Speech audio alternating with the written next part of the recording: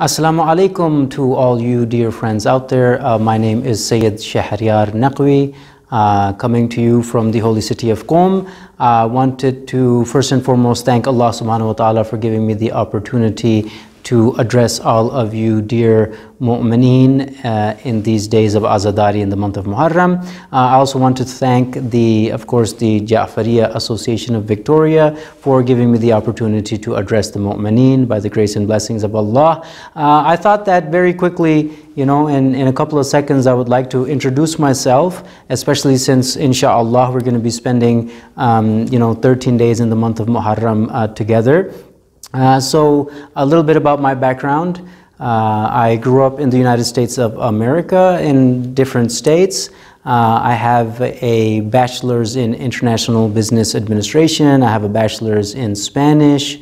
Um, I have a minor in uh, information systems. I finished my, uh, my, my dual bachelor's program um, from the university, and then I went and I did my master's of business administration. I emphasized in uh, management. Uh, after this, I came to the holy city of Qom. I have been in the city of Qom for about eight years now, studying at the Islamic Seminary at the Hawza by the grace and blessings of Allah subhanahu wa ta'ala.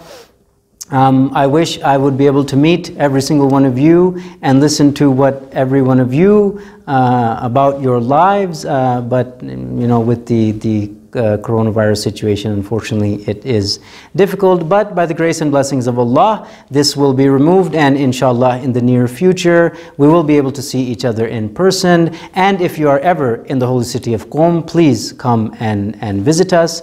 Uh, and that's it for me. I hope that by the blessings of Allah, we have a very good, fruitful Muharram this year. Sallu ala Muhammad wa ali Muhammad.